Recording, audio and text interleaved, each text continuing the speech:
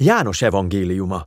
Az első részben láthattuk, ahogy János azt állítja, hogy Jézus a messiás, Isten fia, Isten igéjének és dicsőséges jelenlétének emberi megtestesülése, aki azért jött, hogy megmutassa, ki Isten valójában. Láttuk azt is, hogy ezt hogyan támasztja alá könyvének felépítése. Jézus csodáival jeleket tett és komoly dolgokat állított magáról, például, hogy Izrael egész történelme ő rámutat. Ez azonban vitákat szított, és a zsidó vezetők felelősségre vonták állításai miért. Mindez pedig abban tetőzött, hogy Jézus életét adta barátjáért, Lázárért. Jeruzsálem közelébe ment, hogy feltámassza őt, ezzel megpecsételve saját sorsát. Életbe lép megöletésének terve. Ezzel kezdődik a könyv második fele. Az utolsó éjszakáján Jézus utolsó szavait intézi tanítványaihoz, felkészíti őket közelgő halálára.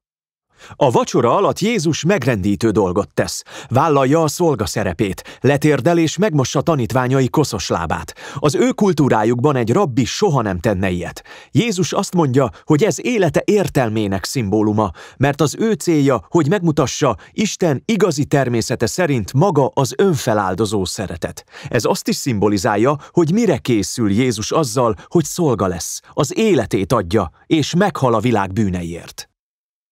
Ez a cselekedet a tanítványoknak szóló nagy parancsolathoz vezet, miszerint abban kövessék őt, hogy úgy szeretik egymást, ahogyan ő szerette őket.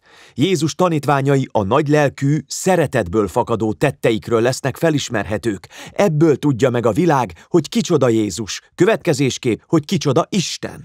Ezután Jézus hosszú beszédet tart, amelyet imával zár, mindezt pedig néhány ismétlődő motívum fogja egybe. Például többször is elmondja, hogy el fog menni. A tanítványokat ez elszomorítja, de Jézus szerint így lesz nekik a lehető legjobb, mert ez azt jelenti, hogy elküldi a szent lelket, más néven a pártfogót. Emberként Jézus egyszerre csak egy helyen lehet, a Szentlélek viszont Jézus mindenütt és mindenkor jelenlévő isteni jelenléte, aki meg annyi dolgot fog tenni mondja Jézus. Ne feledjük tehát, hogy János szerint az egy Istent az Atya és a Fiú közötti szeretetteljes egységre épülő kapcsolat teszi egyedülállóvá. Jézus kijelenti, hogy ez a szeretettel teli személyes jelenlét a lélek, aki eljön, hogy népe között éljen, és bevonja őket az Atya és a Fiú közötti szeretetbe. Jézus tehát elmondja, hogy tanítványai azok, akik úgy maradnak meg ebben az isteni szeretetben, ahogy a szőlővesszők kapcsolódnak a szőlőtőhöz. Elmagy elmagyarázza, hogy Isten szeretete miként hatja át, és ezáltal hogyan gyógyítja, formálja és újítja meg az ember életét. Sőt, a lélek felhatalmazza Jézus követőit, hogy folytassák küldetését a világban, ez pedig elsősorban a nagy parancsolat betöltését jelenti, szolgálva szeretni egymást. De Jézus azt is mondja, hogy a küldetés része az igazságról való tanúskodás is, az emberek egymás iránti önző és bűnös viselkedésének leleplezése, és annak hirdetése, hogy Jézus által Isten megmentette a világot, mert szereti azt, és új utat nyitott az igazi emberlét felé. Végül pedig Jézus előre elmondja nekik, hogy ellenkezés vár rájuk. Ahogy őt elutasították a zsidó vezetők, úgy fogják üldözni követőit is. De biztatja is őket, hogy ne féljenek, mert ő már legyőzte a világot. Hogy pontosan mit ér győzelem alatt nem mondja ki, viszont ez tovább vezet minket a könyv utolsó részéhez, ahol János leírja, hogy is néz ki ki a győzelem Jézus szerint. A zsidó vezetők katonákat küldenek Jézus letartóztatására. Jézus megkérdi, kit keresnek. A válasz a názáreti Jézust, mire ő kijelenti, én vagyok. A katonák pedig a földre esnek. Ez azért zseniális, mert ezek a szavak két olyan hetes sorozat csúcspontjai, amikor Jézus ugyanezt mondta, mindez pedig János Jézusról tett egyik fontos állítását is aláhúzza. Az én vagyok, azaz ego eimi, a görög fordítása Isten saját szövetségi nevének, melyet a kivonulás könyve harmadik fejezetében fedett fel Mózesnek. Ézsaiásnál is gyakran előfordul. János hét két olyan jelenetet helyezett el a történetben, ahol Jézus azt mondja, én vagyok, majd meglepő dolgokat állít. Én vagyok az élet kenyere, én vagyok a világ világossága, a juhok ajtaja, a jó pásztor, a feltámadás, az út, az igazság és az élet, az igazi szőlőtő. És van hét másik történet is, melyek legfőbb pontján Jézus ennyit szól, én vagyok, visszhangozva az isteni nevet. Mindez pedig ironikus módon pont itt, elfogatásakor tetőzik, mert Jézus éppen abban a pillanatban fedi fel isteni nevét, hatalmát és győzelmét, amikor lemond az életéről. Ezután kihallgatják, hisz azt állítja, ő Isten fia és Izrael királya. Először a főpapok, majd a római helytartó Pilátus elé viszik, akinek komolyan kell vennie, ha bárkit is azzal vádolnak, hogy Izrael királyának tartja magát. Jézus ezt mondja Pilátusnak, az én országom nem e világból való. Vagyis Jézus tényleg király, és országa e világért van, de gyökeresen más értékrendje és hatalomértelmezése egyáltalán nem ebből a világból valók. Ezeket Isten jelleme határozza meg, melyet Jézus azáltal a fordított királyság által mutat meg, aminek megtestesítése a kereszt.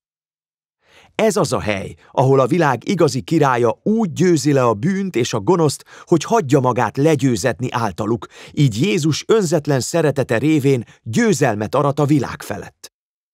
Ezután Jézus testét egy sírba helyezik, a sírt pedig lezárják. Majd a hét első napján Mária, később a többi tanítvány is, felfedezi, hogy a sír furcsa mód nyitva van, és üres. Ezután Mária egyszer csak találkozik Jézussal. Él, feltámadt.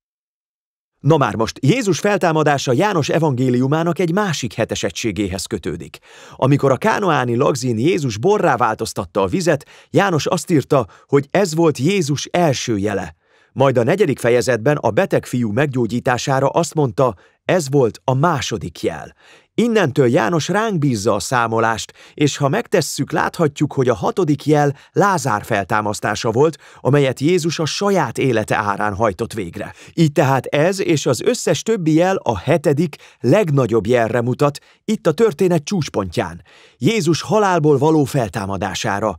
Ezzel igazolódik be Jézus állítása, hogy ő az élet teremtőjének, Istennek a fia akinek a szeretete legyőzte a halált. Az üres sír jelenete után a tanítványokhoz megy, és megbízza őket, elküldve a lelket, ahogy megígérte, hogy az atyától kapott küldetése így rajtuk keresztül folytatódhasson.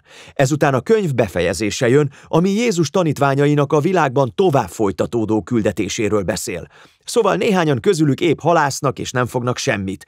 Ekkor megjelenik Jézus a parton, de nem ismerik fel. Azt mondja, vessék ki a hálójukat a hajó másik oldalán, és amikor hallgatnak rá, rengeteg halat fognak. Ezután, és csak is ezután ismerik fel, hogy ő az. Így szemlélteti János, mit jelent Jézus tanítványának lenni. Követői akkor lesznek eredményesek a küldetésükben, ha nem magukra figyelnek, hanem Jézus szavára, és ha szól hozzájuk, engedelmeskednek neki. Ekkor látják meg teljes valójában, hogy miként munkálkodik az életükben. Ezután Jézus Péterhez szól, és külön megbízza, hogy a Jézus mozgalom vezetője legyen, utalva ezzel arra, hogy ő is feláldozza majd az életét. Ám a könyv végén Péter mellett fókuszba kerül az evangélium írója is, a tanítvány, akit Jézus szeretett. Péterrel ellentétben az ő feladata nem a Jézus mozgalom vezetése, hanem az, hogy hosszú élete során tanúskodjon Jézusról, hogy mások is higgyenek benne. És itt is pont ezt tette azzal, hogy leírta ezt az elképesztő történetet Jézusról, aki Isten fia, a messiás. Erről szól János evangéliuma.